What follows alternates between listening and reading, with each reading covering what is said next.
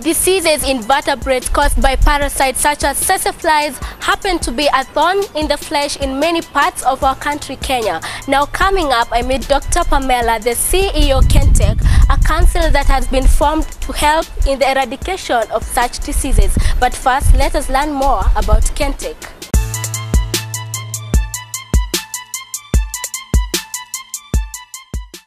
Unapongeza kazi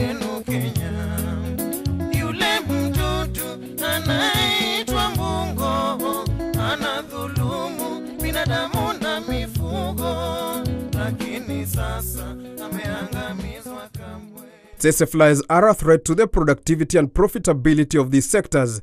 Tsetse spread a fatal disease in human beings and animals, scientifically called trypanosomiasis, also known as sleeping sickness or nagana respectively. Tsetse flies inhibit 38 sub-Saharan African countries, Kenya included, where they are a great constraint to profitable agriculture. African heads of state and government made a declaration to eradicate these pests from Africa. This led to the formation of the Pan-African Tsetse and Trypanosomiasis Eradication Campaign, PATTEC. KENTTEC is the successor of PATTEC, and PATTEC is the African Union initiative to free the African continent from the scourge of Tsetse and trypanosomiasis. The main reason being that Tsetse and trypanosomiasis in Africa is the major causes, one of the major causes of poverty. PATEC made tremendous impact in four project regions, namely Lake Bogoria, Lake Victoria Basins, Meru, Mwea, and a pilot at the coastal highland of Faza. The program coordinator, Dr. Pamela Olet, was recognized through a presidential award following the success of PATEC program. lakini sasa ameangamizwa kamwe To safeguard these gains by the PATTEC, the government of Kenya, through the Legal Gazette Notice number 77 of July 2012, formed the Kenya Tsetse and Trypanosomiasis Eradication Council, KENTTEC, whose mandate is to coordinate all Tsetse and Trypanosomiasis eradication activities in the country. and KENTTEC came into existence and the first board we launched it in uh, 9th May 2013 and the president appointed me to be the chair of the council.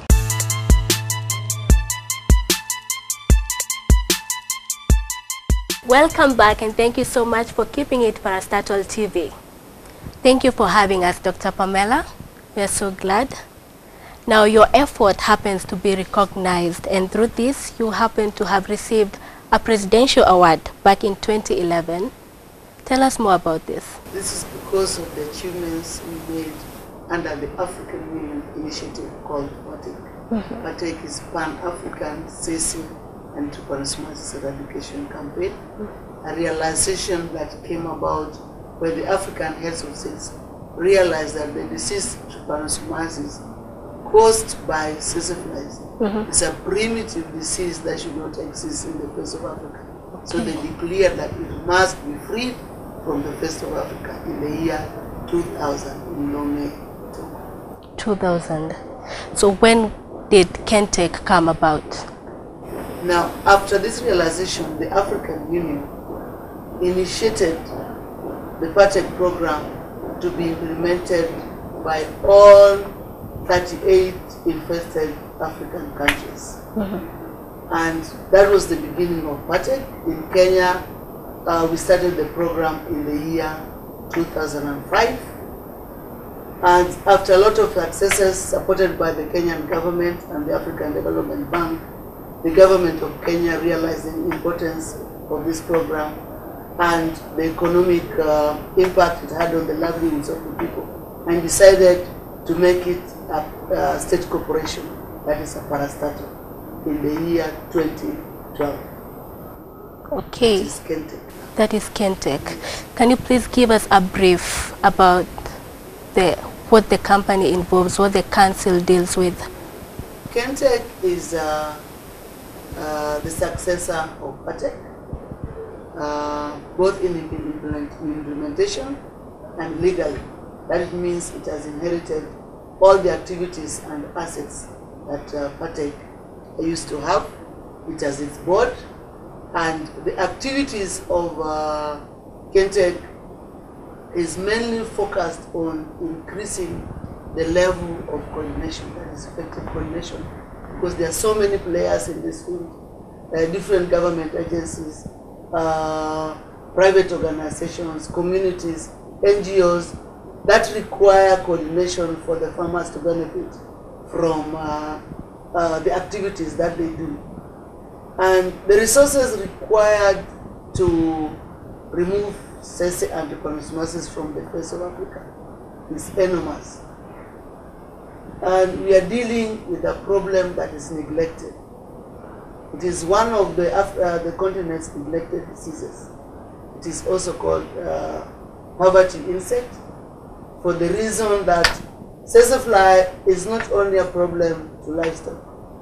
It is a problem of livestock, it is a problem of wildlife, it is a problem of human uh, health for those who have heard about sleeping sickness that is caused by flies. And uh, the diagnosis of that disease is so painful that you won't even want to read the stage of diagnosis. This is why the African continent is saying, can we remove the vector, which is the fly? This is the cause of the problems uh, in tourism. When tourists come to our good places like Tsavo, Masai Mara, and they pick the disease, they go and put it in their internet, and they even issue travel advisories that people should not visit the Mara. So it can easily cause the collapse of tourism. Uh, in some areas of this uh, Kenya, there are some areas where they are so heavily infested with tsetse flies that farmers cannot keep dairy animals. Leave alone dairy animals. Some areas cannot even have bulls to plow the land, which is directly affecting uh, crop agriculture. I can give you an example in uh, the year 2004 in Teso, when all the bulls that were used for plowing were killed by this disease caused by tsetse flies. And these people had to receive aid for them to be able to open up land. Because the tractors that were available that time were very few. And I don't think even now they are adequate. So oxen plowing is still the major activity of our communities to plow land. So it can actually be a cause of food insecurity if uh, not uh, properly addressed. And this is why the African governments through the African Union are saying that the governments need to prioritize this program so that Africa can be food secure, that we can have um, uh, good health and uh, do economic activities like tourism. And uh, this requires a lot of coordination at the national level. In Kenya, you remember we now have, have county governments, which needs coordination because this is a transboundary problem. So there is need for coordination within the country and also with the neighboring countries. So the level of coordination needs to be very, very high. Okay, now that you mentioned the counties, how closely are you working with the counties in fulfilling the eradication of these diseases? Now, since we are dealing with uh, a neglected uh, problem, neglected at a national level, neglected at a, a, a continental level, we have to do a lot of sensitization in the counties so that they realize the importance of focusing on this problem for prosperity of the counties. So we have initiated uh, the preparation of what we are calling a KENTTEC bill or Tsetse bill, so that through this process we are going to engage counties in its preparation and we are going to have uh, partnership agreements within this bill. So we are working very closely, but more so we want the bill to, to be passed by parliament. We want this bill also to be embraced by the county assemblies so that at a national level and county level we are working towards the same direction of making Kenya free from Tsetse and uh, trypanosomiasis to fulfill the, the dream of the African heads of states of a free continent.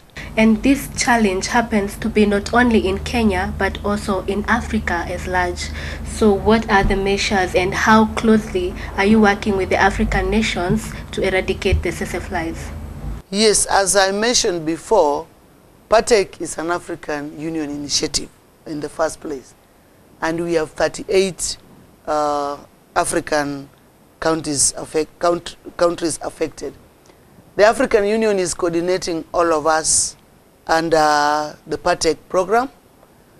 And when we come to the East African region, we have also managed through our cabinet secretaries to put this problem as an agenda of the uh, EAC at Arusha. So as much as we are addressing it at the AU level, we are also using the RECs, the regional blocks, like the uh, East African community, to address this problem. And this is how we are going to tackle the Lake Victoria Basin, which is embracing so many countries. And the entire Lake Victoria Basin is uh, all affected, whether it is in Tanzania, Uganda, or, or Kenya. So we have coordinations at different levels, at a regional level, to tackle this problem. That is such a nice initiative there.